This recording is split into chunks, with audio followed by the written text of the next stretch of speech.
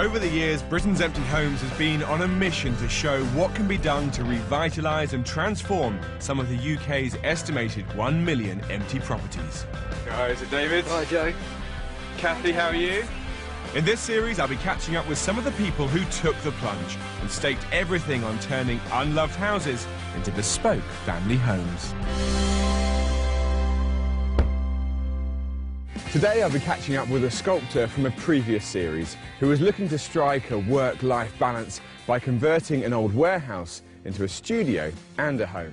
I sort of keep having to pinch myself just to um, just to realise that it's it's all real. We'll also be visiting some of the derelict dwellings that our property detectives have been working hard to save in order to prevent their owners from leaving these places as a blot on the landscape.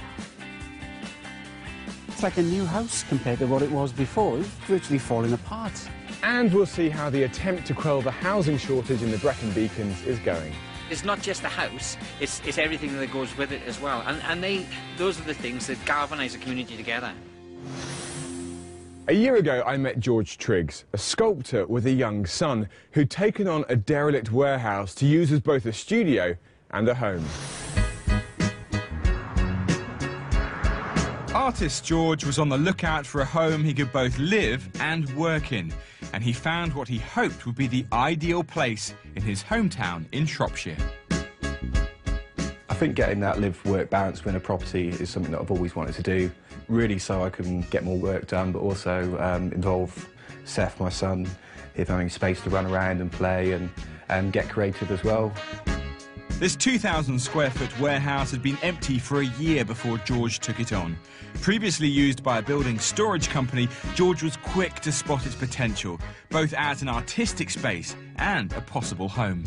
What was brilliant about the property is the fact that it's just an empty shell, which means that you can pretty much do anything you want with it, really. As a first-time renovator, George was on a steep learning curve, but with his artistic eye, he had an inbuilt advantage. I'm really looking to get um, a really slick finish, to be comfy, and to have lots of light, which I think is important for life, for playing, but also for work and for sculpture. There's been lots of delays with, with planning, with submissions, with charges, which I wasn't aware of, and it all takes a lot longer than you think it does when you first start, really.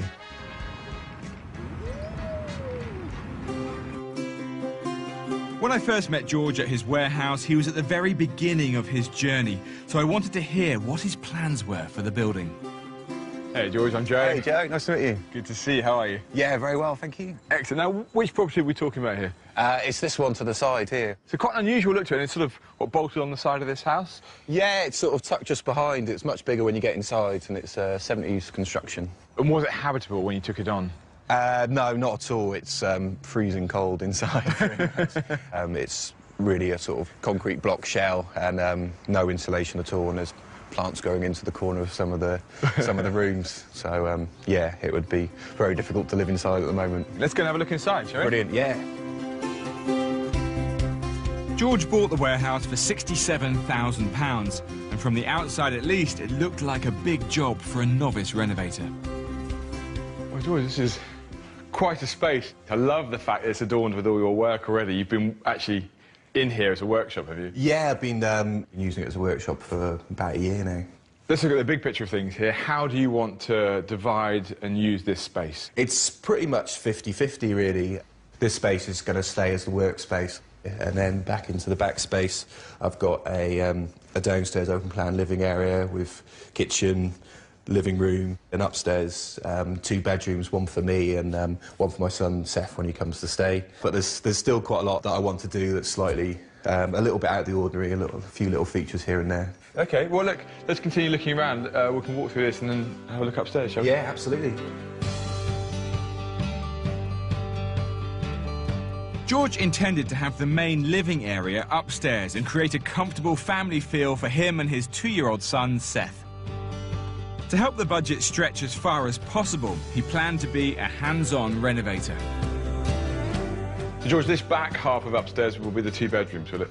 Yeah, that's right. So one bedroom over that side, one over this side, and the bathroom about here. So let's talk budget. How much do you hope you can do this project for? I'm hoping really to, to get it in between about 40 to 50,000. I think I'd really struggle to get to go more than that. Do you worry that, that that's quite a tight budget? I'm hoping it's a generous budget and allows for the other things, but um, I might end up completing it and then having um, very little money to spend on furniture or anything else really and have to work a, a lot, a lot harder to, um, to make up the difference. The point is, it's an exciting time in the project, isn't it? Because nothing's certain and you're still playing with ideas and there's lots of creative options open to you.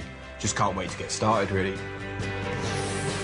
Later, we'll see what happened when I took George to meet David and Pamela Ward, who turned an old barn that was barely standing into a luxury home. Across the country, there are many buildings like George's waiting to be discovered and renovated. Local council empty property officers carry out detective work around the clock to reclaim abandoned buildings and bring them back into use. Nearly three years ago, we met Cardiff empty property officer Steve Reed on his way to an abandoned house that was in a terrible state. As the owner had abdicated all responsibility, and with mortgage debts mounting on the house, the council had no choice but to make a compulsory purchase. The area the property in is, uh, is, is quite a nice area, and the property itself looks terrible. Really stuck in the middle of all of this, so we really need to get something done with it if we can. Steve needed to make a decision on whether to sell it at auction as it was or to spend money on repairs that might improve its value and chances of a sale. As repairing it was going to involve spending public money, the council needed to be confident they would recover the costs. Steve met up with senior housing surveyor Clive Scrace to assess the state of the building. He's done several of these uh, notices before, so he knows what to look for, roughly how much work needs doing, what we can, what we can't do, get a rough idea of how much it's going to cost. Hey, Clive. Hey, Steve. All right. What do you think? Oh, God, it's a lot worse than it was the last time. It is, isn't it? I think we may have a problem here with rats as well, so we may have to get it test baited. Yeah. Well, if we go around Yeah. and have a little look and see exactly what uh, what would need doing Yeah. on it. We're obviously going to have a look at clearing this. Obviously, you've got the windows to the front. The doors would have been boarded over, the tiles on the roof. Yeah, The boundary walls, which are, have been sort of vandalised. yeah. The major work is around the back with the conservatory and the overgrowth. So there is access to the rear here. And obviously, as people are getting into the rear. I'd say it's, it's completely overgrown by here, but there's a walkway through. Obviously, kids and people can get through. I mean, we can see they, they've smashed the patio doors at the back, so they can actually get in through, the, through here now in the patio doors. The problem we've got is to sort of do this work and for the appearance of the property, the actual cost of works is going to be absolutely huge. I don't think we'd, we'd recover them because obviously there's, there's no money left in the property once obviously the mortgage is paid. So we just carry on with our CPO then. Yeah, I think so. The verdict was to sell the house at auction without doing it up. As the place was heavily in debt to the mortgage company, all money from the sale would be swallowed up by them and the council would not recoup any money spent on repairs. Once it came up at auction, Steve hoped it would sell to a developer who'd be able to turn it around quickly. There's a huge potential for a new family moving into this property. The, air, the area is really nice. The property is fairly large. There's fields behind it, the schools are nearby, so hopefully once the compulsory purchase is done, it'll become a nice family home for whoever buys it. Nearly three years later, Steve's come back to meet property developer Rashid Aziz, who project managed the renovation. Mr. Aziz? Hi there, how are you, Steve Reed, Cardiff Council? God, what a difference. The property was snapped up at auction for £96,000. Mr. Aziz spent £80,000 doing it up, and he's created a house fit for a king. His renovation's been a roaring success. It's amazing. It's, it's like a new house compared to what it was before. It was virtually falling apart. Yeah, we're gonna put the line and uh, new windows. Because I, I know the, the front wall, that was a major problem that we had where there were kids passing, taking their bricks off and throwing them through the windows of the neighbouring properties as well. Oh, right. So it's good to see that uh, that's, that's been replaced and hopefully it'll stay up. Yeah, With similar properties in this area selling for nearly a quarter of a million pounds, this house is Mr. Aziz's pride and joy. Can we have a look inside to see how it's getting on in Yeah, there? Wow. This has changed a bit. They've done the new floor, Yeah. that routine. All the mouldings on there, they look, they look beautiful. It looks fantastic. And of course, there's no holes in the windows. Of course. The house has been redecorated inside and out. No longer an easy target for antisocial behaviour. Instead, it's a good-sized family home. I'm really glad the neighbors are really happy. The people keep coming and telling me how good it looks now. It's taken a long time, but in this case, Steve's determination and hard work have really paid off. The back is amazing. Where the bathroom is now, that used to be an old lean-to shed that was leaking. And out the back there, where you've got the conservatory there now, that used to be an old wooden one that was burnt out, and all the windows were smashed. Thanks ever so much for showing me around, You're most welcome. and uh, good luck. Hopefully we'll have someone in here very soon. Yeah, of course. Thank you. For the property for the last three years and seen it deteriorate every time we get here. To see it back into a home is just absolutely fantastic, and to know that I played my part in it is brilliant. Across the country, there are some amazing houses crumbling into ruin, but they can be transformed. With hard work and dedication, they can be turned into fantastic homes.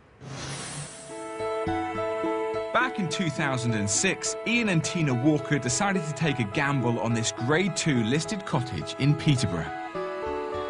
It was condemned, empty, derelict, full of scrap, on the verge of collapse, and a building worth saving. When I first saw it and it was covered up with a tarpaulin, I actually hadn't seen that before, you know, a house wrapped up. It hadn't been lived in for around 50 years, and the cottage was on the local Houses at Risk register. The Walkers bought it for £47,500 and spent a further £92,000 on the major renovation work needed. To get a blank canvas, effectively, you know, though it was restoration, but I could also do it in the way that I felt that it should be done, was, was brilliant. You know, just life, well, nearly a 30-year dream come true for me. As a joiner, Ian could dedicate himself and his skills to bringing the house back into use and making it a home again. Generally speaking, it was in such a bad way. It was, if there was anything that was in good order, it was a bonus. We tried to keep as much of its original fabric, and he definitely did, um, as we could, but to reuse it our way. By taking on a condemned house, Ian and Tina were able to create their idyllic family home for much less than if they'd bought it already renovated. The finish of it was when people kept telling me how lovely it looked. You just turn around and you look at it and, and you might get a flashback in your head of what it was and then you think, wow.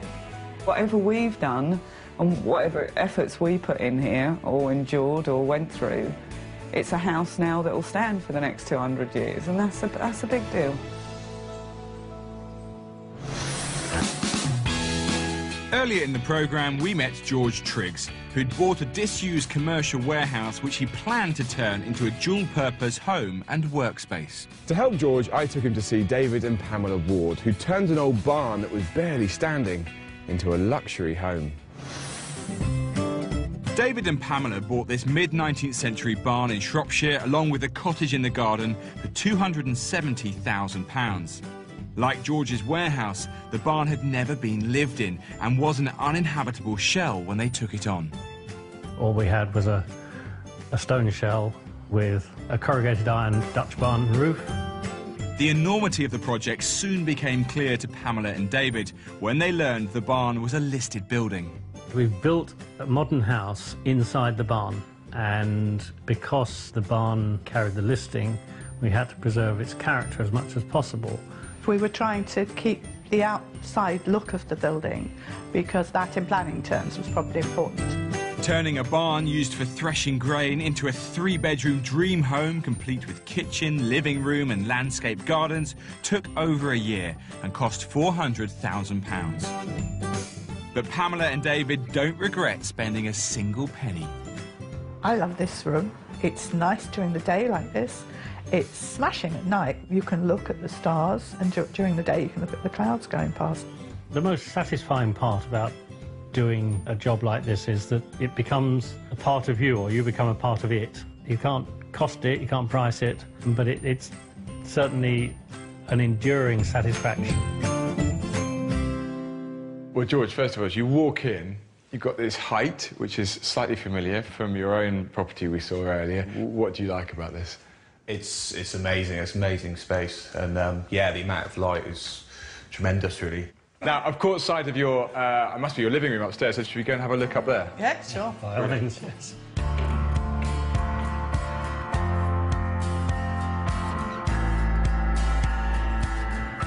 It's incredibly light up here. Is that what you're looking to do as well, George, with your place? Yeah, absolutely. I mean, I'm trying to trying to do as many as many roof lights as possible, really. And one of the benefits of being a flat roof is you can put roof lights in without it being too much of a planning issue. Yeah. George is going to be doing it on a very tight budget. So where can he make savings or economies? Any advice on that?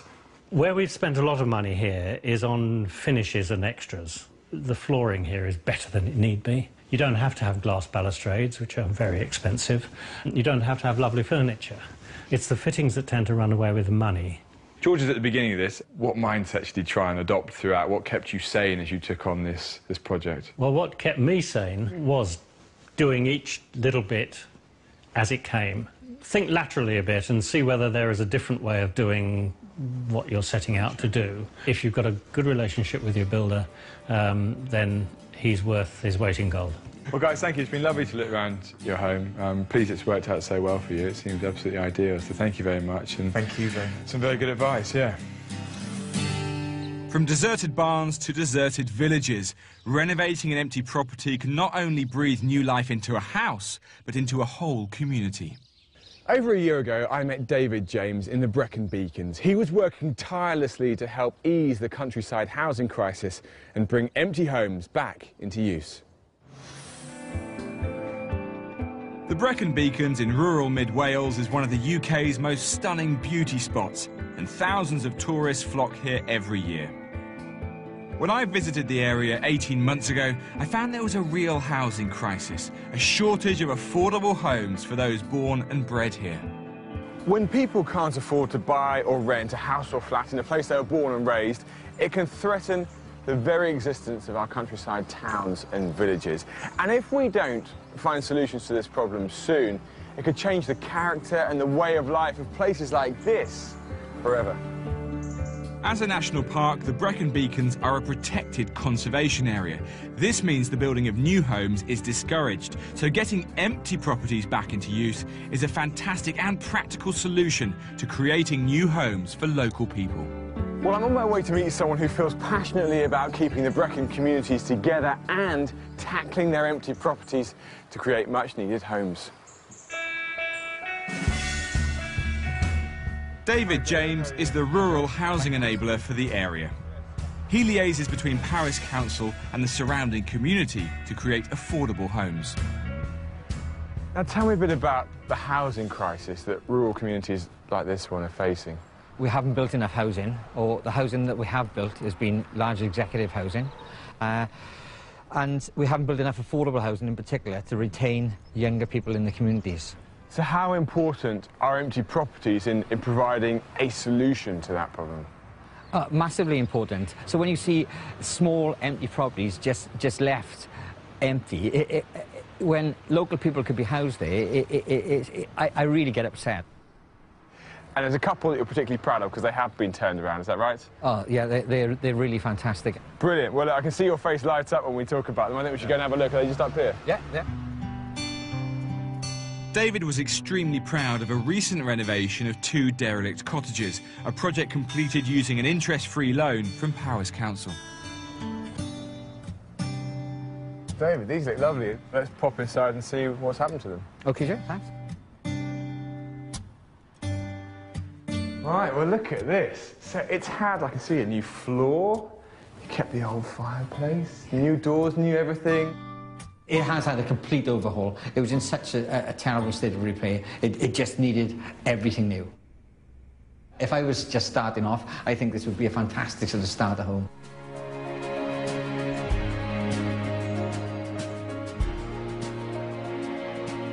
It's really inspiring to see empty properties being saved here. And not just they're being brought back to life, importantly, they're being made available for local people, which is helping preserve the local community. With people as passionate as David on the case, there really is every reason to be optimistic here. Now, a year later, it seems all David and the local council's hard work has paid off. The scheme has gone from strength to strength. Over the last 12 months, it's like 30 to 40 properties have been brought back into use uh, because of the interest-free loan available to owners. So that's a, a real success, I think. Some families have lived on these streets over many generations, so there's a real attachment to the properties here. Everybody can, can recall who lived there and what what was there previously. So, so there's not just a house; it's it's everything that goes with it as well. And and they those are the things that galvanise a community together. After 20 years of lying empty, the cottage I visited is now fully restored and rented out to a local villager, much to the delight of the owner, Gordon Gwillam. Gordon, how are you? Very well, thank you, David. Is it okay if we have a little look inside there, Gordon? Yeah, welcome. Yes, uh, I hope you find it interesting. I can't wait. Gordon was born in this very house more than 70 years ago. He has happy memories of growing up here with his grandma. This is nice, Gordon. It is very, very, very pleasant, isn't it?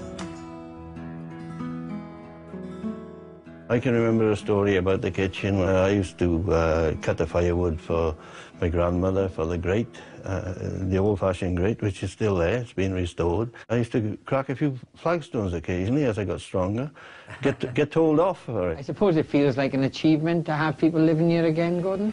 Yes, it's uh, it's a dream come true. For nearly a generation, this cottage was a forgotten relic, but now it's back in the heart of the village as a much-loved home.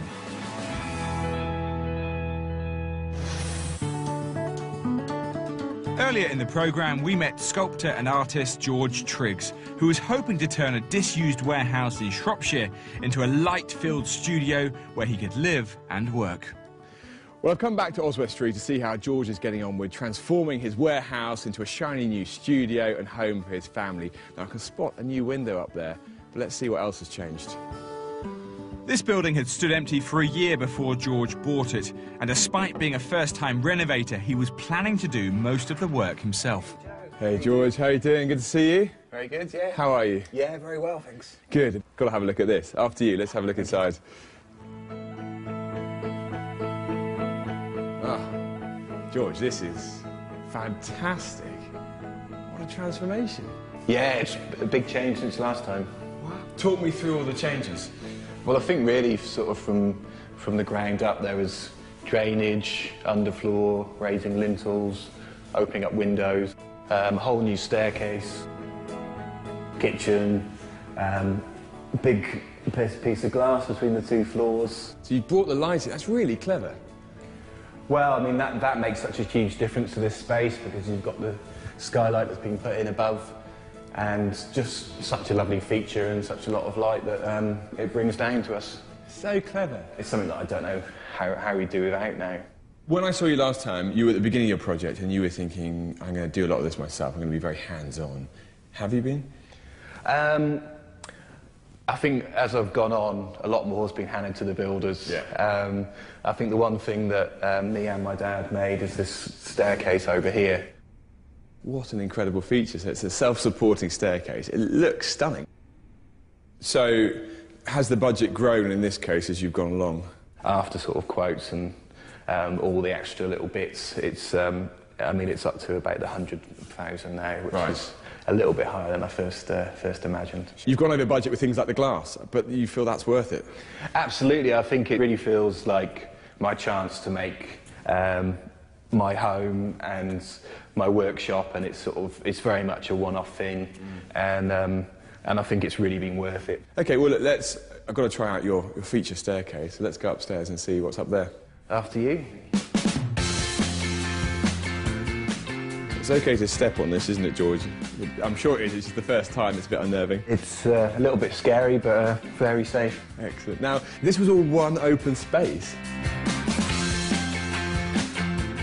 It's changed so much. So you've got, what, master bedroom? That's right, master bedroom here, uh, my son's room in there. Perfect. And the uh, bathroom in there. You're a couple of weeks away from moving in, and this is just brilliant. I mean, how happy are you with the whole process? I'm absolutely thrilled. I mean, the builders have been great, the architects have been brilliant, and it's all coming together, and it's just seems seems unreal, really, that it's uh, it's nearly there. And what does your little boy make of it? He loves loves playing on the glass and running around the big rooms, and yeah, just um, partner needs a bit more cupboard space, but uh, I'll get on that soon enough. As well as the living area, George is in the process of finishing an artist's studio at the front of the building. His vision of creating a light-filled space where he can live and work is nearly complete. George, I'm delighted for you. I'm very impressed you've been able to keep working in your studio as the building work's gone on, and then to come out with an end result like this, with these lovely bedrooms, a great open family space down there, but a huge studio to carry on your work is just perfect. So many congratulations. Yeah, oh, thank you very much. Yeah, it's been um, certainly a challenge, but um, just so happy. I sort of keep having to pinch myself just to um, just to realise that it's it's all real and it's it's going to happen and it's going to happen soon.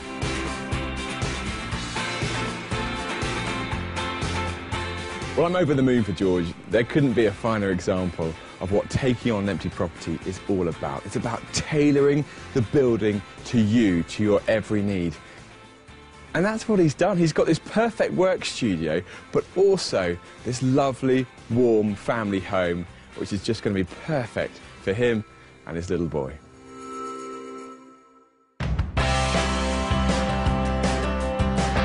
Jack and Phil, what a bust up and what a mess. Find out what happens next tonight on BBC One, EastEnders 7:30. But next this morning after the headlines, Bargain Hunt.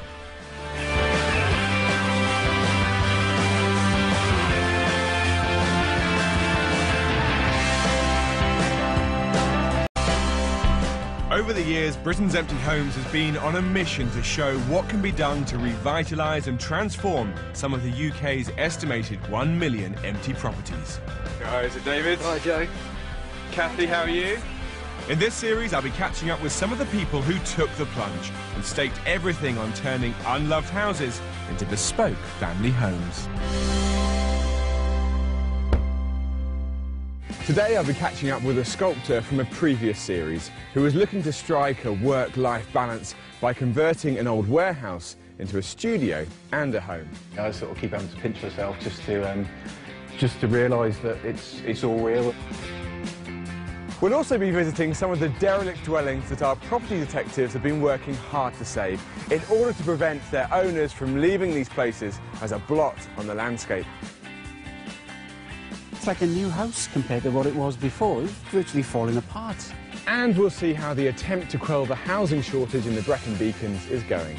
It's not just the house, it's, it's everything that goes with it as well. And, and they, those are the things that galvanise a community together. A year ago, I met George Triggs, a sculptor with a young son who'd taken on a derelict warehouse to use as both a studio and a home. Artist George was on the lookout for a home he could both live and work in, and he found what he hoped would be the ideal place in his hometown in Shropshire. I think getting that live-work balance within a property is something that I've always wanted to do, really so I can get more work done, but also um, involve Seth, my son, him having space to run around and play and, and get creative as well. This 2,000 square foot warehouse had been empty for a year before George took it on. Previously used by a building storage company, George was quick to spot its potential, both as an artistic space and a possible home. What was brilliant about the property is the fact that it's just an empty shell, which means that you can pretty much do anything you want with it, really. As a first-time renovator, George was on a steep learning curve, but with his artistic eye, he had an inbuilt advantage. I'm really looking to get um, a really slick finish, to be comfy, and to have lots of light, which I think is important for life, for playing, but also for work and for sculpture. There's been lots of delays with, with planning, with submissions, with charges, which I wasn't aware of, and it all takes a lot longer than you think it does when you first start, really.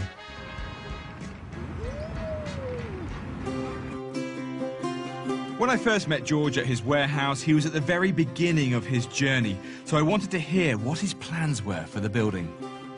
Hey, George, I'm Joe. Hey, Joe, nice to meet you. Good to see you. How are you? Yeah, very well, thank you. Excellent. Now, which property are we talking about here? Uh, it's this one to the side here. So quite an unusual look to it, it's sort of, what, bolted on the side of this house? Yeah, it's sort of tucked just behind. It's much bigger when you get inside, and it's uh, 70s construction. And was it habitable when you took it on? Uh, no, not at all. It's um, freezing cold inside. um, it's really a sort of concrete block shell and um, no insulation at all, and there's plants growing into the corner of some of the some of the rooms. So um, yeah, it would be very difficult to live inside at the moment. Let's go and have a look inside, shall we? Brilliant, yeah. George bought the warehouse for £67,000, and from the outside at least, it looked like a big job for a novice renovator. Well, George, this is quite a space. I love the fact that it's adorned with all your work already. You've been actually in here as a workshop, have you? Yeah, I've been um, using it as a workshop for about a year now. Let's look at the big picture of things here. How do you want to divide and use this space? It's pretty much 50-50, really. This space is going to stay as the workspace. And then back into the back space, I've got a, um, a downstairs open-plan living area with kitchen, living room, and upstairs um, two bedrooms, one for me and um, one for my son Seth when he comes to stay. But there's there's still quite a lot that I want to do that's slightly um, a little bit out of the ordinary, a, little, a few little features here and there. OK, well, look, let's continue looking around. Uh, we can walk through this and then have a look upstairs, shall we? Yeah, absolutely. George intended to have the main living area upstairs and create a comfortable family feel for him and his two-year-old son, Seth. To help the budget stretch as far as possible, he planned to be a hands-on renovator. So, George, this back half of upstairs will be the two bedrooms, will it? Yeah, that's right. So one bedroom over that side, one over this side, and the bathroom about here. So let's talk budget. How much do you hope you can do this project for? I'm hoping really to to get it in between about 40 to 50,000. I think I'd really struggle to get to go more than that. Do you worry that, that that's quite a tight budget? I'm hoping it's a generous budget and allows for the other things, but um, I might end up completing it and then having um, very little money to spend on furniture or anything else really and have to work uh, a lot a lot harder to um, to make up the difference. The point is, it's an exciting time in the project, isn't it? Because nothing's certain and you're still playing with ideas and there's lots of creative options open to you. Just can't wait to get started, really. Later, we'll see what happened when I took George to meet David and Pamela Ward, who turned an old barn that was barely standing into a luxury home. Across the country, there are many buildings like George's waiting to be discovered and renovated. Local council empty property officers carry out detective work around the clock to reclaim abandoned buildings and bring them back into use. Nearly three years ago, we met Cardiff empty property officer Steve Reed on his way to an abandoned house that was in a terrible state. As the owner had abdicated all responsibility, and with mortgage debt mounting on the house, the council had no choice but to make a compulsory purchase. The area the property in is, uh, is, is quite a nice area, and the property itself looks terrible. Really stuck in the middle of all of this, so we really need to get something done with it if we can. Steve needed to make a decision on whether to sell it at auction as it was or to spend money on repairs that might improve its value and chances of a sale. As repairing it was going to involve spending public money, the council needed to be confident they would recover the costs. Steve met up with senior housing surveyor Clive Scrace to assess the state of the building. He's done several of these uh, notices before, so he knows what to look for, roughly how much work needs doing, what we can, what we can't do, get a rough idea of how much it's going to cost. Hey, Clive. Hey, Steve. All right? What do you think? Oh, God, it's a lot worse than it was the last time. It is, isn't it? I think we may have a problem here with rats as well, so we may have to get it test baited. Yeah? Well, if we go around and have a little look and see exactly what, uh, what would need doing Yeah. on it. We're obviously going to have a look at clearing this. Obviously, you've got the windows to the front. The doors would have been boarded over, the tiles on the roof. Yeah. The boundary walls, which are, have been sort of vandalised. Yeah. The major work is around the back with the conservatory and the overgrowth. So there is access to the rear here. And obviously, as people are getting into the rear, so it's, It's completely overgrown by here, but there's a walkway through. Obviously, kids and people can get through. I mean, we can see they, they've smashed the patio doors at the back, so they can actually get in through the, through here now in the patio doors. The problem we've got is to sort of do this work and for the appearance of the property, the actual cost of work is going to be absolutely huge. I don't think we'd, we'd recover them because obviously there's, there's no money left in the property once obviously the mortgage is paid. So we just carry on with our CPO then? Yeah, I think so. The verdict was to sell the house at auction without doing it up. As the place was heavily in debt to the mortgage company, all money from the sale would be swallowed up by them and the council would not recoup any money spent on repairs. Once it came up at auction, Steve hoped it would sell to a developer who'd be able to turn it around quickly. There's a huge potential for a new family moving into this property. It's the, air, the area is really nice. The property is fairly large. There's fields behind it, the schools are nearby, so hopefully once the compulsory purchase is done, it'll become a nice family home for whoever buys it. Nearly three years later, Steve's come back to meet property developer Rashid Aziz, who project managed the renovation. Mr. Aziz? Hi there, how are you, Steve Reed, County Council? God, what a difference. The property was snapped up at auction for £96,000. Mr. Aziz spent £80,000 doing it up, and he's created a house fit for a king. His renovation's been a roaring success. It's amazing. It's, it's like a new house compared to what it was before. It was virtually falling apart. Yeah, we're going to put the line and uh, new windows.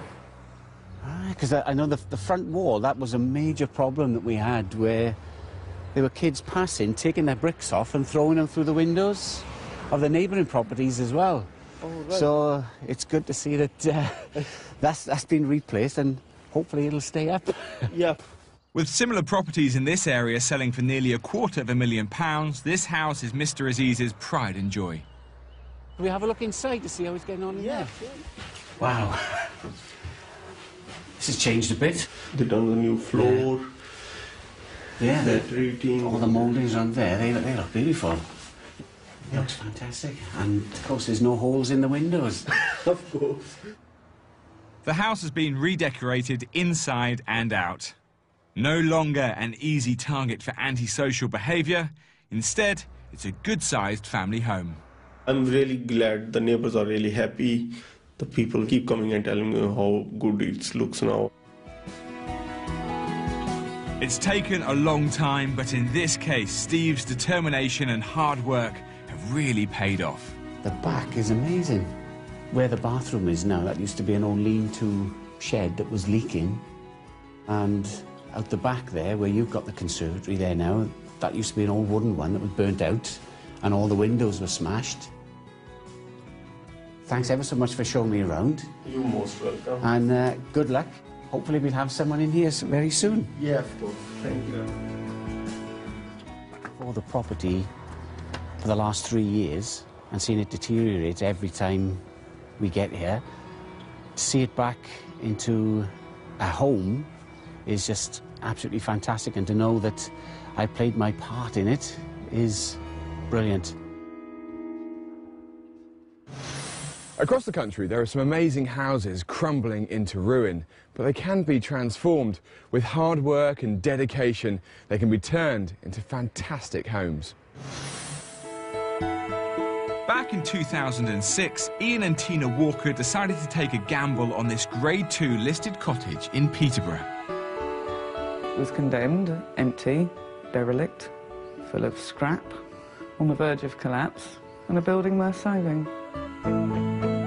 When I first saw it and it was covered up with a tarpaulin, I actually hadn't seen that before. You know, a house wrapped up. It hadn't been lived in for around 50 years, and the cottage was on the local Houses at Risk register. The Walkers bought it for £47,500 and spent a further £92,000 on the major renovation work needed. To get a blank canvas, effectively, you know, though it was restoration, but I could also do it in the way that I felt that it should be done, was, was brilliant. You know, just life, well, nearly a 30-year dream come true for me. As a joiner, Ian could dedicate himself and his skills to bringing the house back into use and making it a home again. Generally speaking, it was in such a bad way. It was, if there was anything that was in good order, it was a bonus. We tried to keep as much of its original fabric, and he definitely did, um, as we could, but to reuse it our way. By taking on a condemned house, Ian and Tina were able to create their idyllic family home for much less than if they'd bought it already renovated. The finish of it was when people kept telling me how lovely it looked. You just turn around and you look at it and, and you might get a flashback in your head of what it was and then you think, wow. Whatever we've done and whatever efforts we put in here or endured or went through, it's a house now that will stand for the next 200 years, and that's a, that's a big deal. Earlier in the programme, we met George Triggs, who'd bought a disused commercial warehouse which he planned to turn into a dual-purpose home and workspace. To help George, I took him to see David and Pamela Ward, who turned an old barn that was barely standing into a luxury home. David and Pamela bought this mid-19th century barn in Shropshire along with a cottage in the garden for £270,000. Like George's warehouse, the barn had never been lived in and was an uninhabitable shell when they took it on. All we had was a, a stone shell with a corrugated iron Dutch barn roof. The enormity of the project soon became clear to Pamela and David when they learned the barn was a listed building. We've built a modern house inside the barn, and because the barn carried the listing, we had to preserve its character as much as possible. We were trying to keep the outside look of the building because that in planning terms was probably important. Turning a barn used for threshing grain into a three-bedroom dream home complete with kitchen, living room and landscape gardens took over a year and cost £400,000. But Pamela and David don't regret spending a single penny. I love this room. It's nice during the day like this. It's smashing at night. You can look at the stars, and dur- during the day you can look at the clouds going past. The most satisfying part about doing a job like this is that it becomes a part of you or you become a part of it. You can't cost it, you can't price it, but it, it's certainly an enduring satisfaction. Well, George, first of all, as you walk in, you've got this height, which is slightly familiar from your own property we saw earlier. What do you like about this? It's it's amazing. It's amazing space, and um, yeah, the amount of light is tremendous, really. Now, I've caught sight of your, uh, it must be your living room upstairs, so should we go and have a look up there? Yeah, sure. By all means, yes.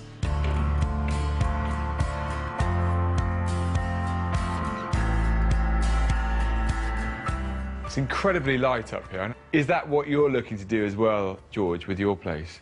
Yeah, absolutely. I mean, I was trying to trying to do as many as many roof lights as possible, really. And one of the benefits of being a flat roof is you can put roof lights in without it being too much of a planning issue. Yeah. George is going to be doing it on a very tight budget. So where can he make savings or economies? Any advice on that? Where we've spent a lot of money here is on finishes and extras. The flooring here is better than it need be. You don't have to have glass balustrades, which are very expensive. You don't have to have lovely furniture. It's the fittings that tend to run away with the money. George is at the beginning of this. What mindset did you try and adopt throughout? What kept you sane as you took on this, this project? Well, what kept me sane was doing each little bit as it came.